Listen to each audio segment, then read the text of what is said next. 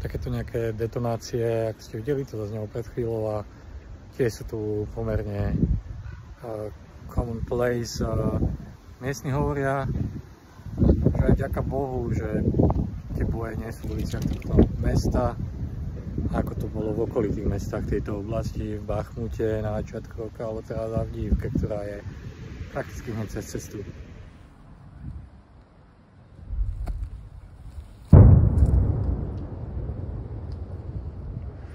Teraz sme v Turecku, to už je naozaj priamo hm, zóna bojov, pár kilometrov a je to úplne vyľudnené. Toto je New York v, na Ukrajine. Stále sme v New Yorku.